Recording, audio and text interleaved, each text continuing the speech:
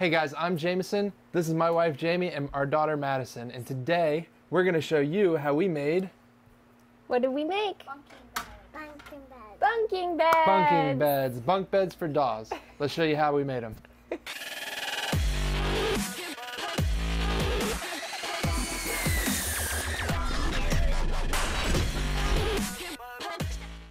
All right, so I'm gonna start by ripping everything down to width. There's gonna be four boards that are gonna come out of this that are three and a quarter inches wide, and then one that's gonna be 10 inches wide, and that's gonna be for the two bottoms of the bunks. Okay, so now that I've got everything ripped down to width on the table saw, I'm gonna head on over to the miter saw and cut it down to the appropriate lengths.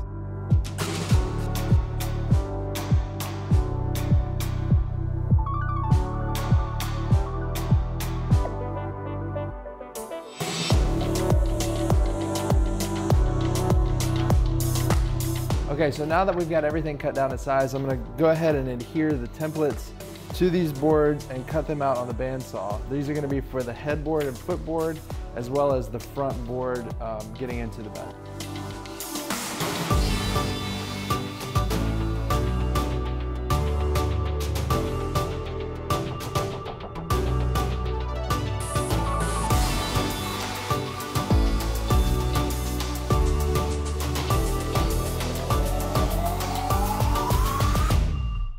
All right, so now that I've got everything cut out and it's ready for assembly, I'm gonna go ahead and first, prior to assembly, I'm going to prime and paint all the pieces because I know once I get it together, it's gonna be a pain to get into the nooks and crannies. So I'm gonna go ahead and prime and paint everything, let that dry, and then come back and assemble this thing.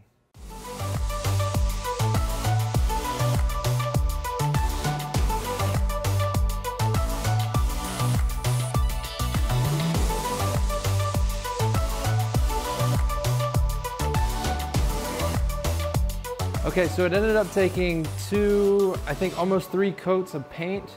Um, and we've, we've allowed all that to dry overnight. So now we're gonna go ahead and assemble the headboard and the footboard. I'm gonna lay everything out and then I'm gonna use some RapidFuse quick setting adhesive to, um, to glue it up so that it's, it stays secured. And then I'm gonna finish it off with some one and a half inch brad nails just to make sure that everything stays in there nice and tight.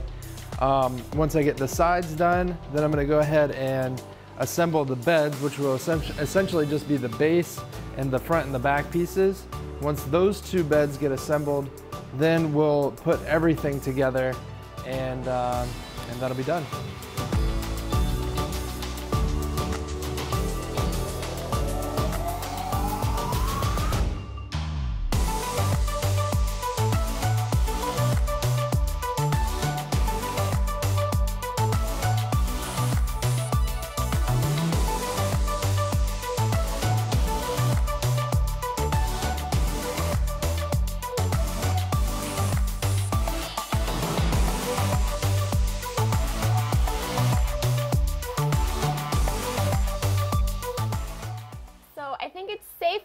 Say she loves her bunking beds.